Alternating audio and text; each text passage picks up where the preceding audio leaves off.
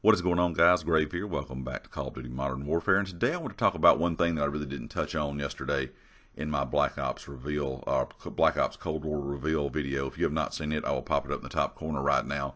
But that is one of the developers talked about how they were changing the statistics on the weapons when you attach uh, any attachment in the game onto that particular weapon.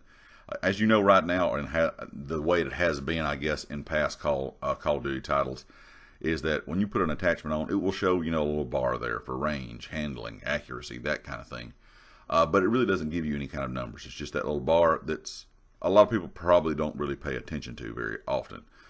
Uh, in this game, uh, in Call of Duty Black Ops Cold War, they're actually going to show percentages. So it's going to show a positive or negative effect for that attachment onto that weapon. So just for an example, like if you put an attachment on, let's take something from Call of Duty uh, Modern Warfare you know, right now it'll show the weapon. It, it, will give you better accuracy, but a slower, you know, ADS or handling speed. Instead of just showing that bar, it's going to actually show that positive for the, uh, you know, positive for the accuracy, but the negative, you know, for like the handling speed or the ADS, if it actually has a negative effect on the weapon.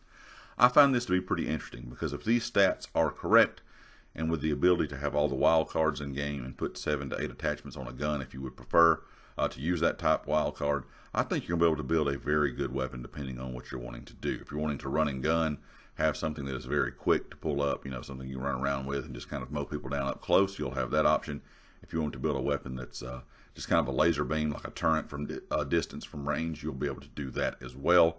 I'm going to be kind of interested uh, interested to see how this works out in the beta because it does sound very powerful in a lot of people's minds. I've seen comments about this saying between you know the ability to already have five attachments, uh, just base attachments in game, and then you have the option of the wild cards to add more attachments, and now you're going to be able to see the exact stats, and if they are correct, I think you'll be able to build a very good weapon just overall. It's going to make it kind of different. Uh, a different experience in game. You're going to have a different uh, style weapon builds depending on your play style, which does give people a lot of freedom for the kind of the way they want to play.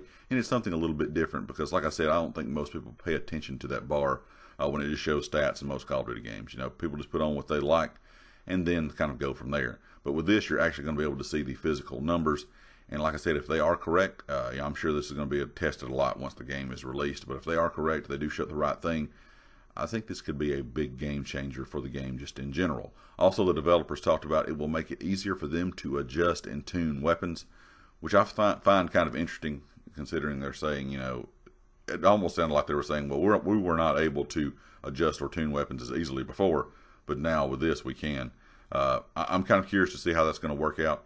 If that is the case and it's easier for them to adjust and tune weapons, I'm hoping you're going to see more uh, kind of variety when it comes to the game, uh, weapon wise, whether it be in the pro league or like if you're just playing in public matches. Because as we all know, most people get into the game when they play Call of Duty, and there's a couple weapons that are very popular, and that's what everybody seems to use. I'm hoping with all these different attachments with the gunsmith kind of option like we have here in Modern Warfare, and the ability to see all the different statistics on some of these weapons, a lot of people might try to go with some other guns just to test them out and being able to see the different numbers that these weapons are going to have on them with each attachment might might make people run other guns that they would not normally run. Anyway, guys, leave me a comment with your thoughts. If you'd like to hit the like, if you hadn't subscribed yet, please do so. If you are a subscriber, make sure you click the bell icon in the top right corner so you know all my videos go live. And be sure to check everything down in the description, GT Racing, the community Discord, and my Twitter. And I'll catch you all next time. Peace.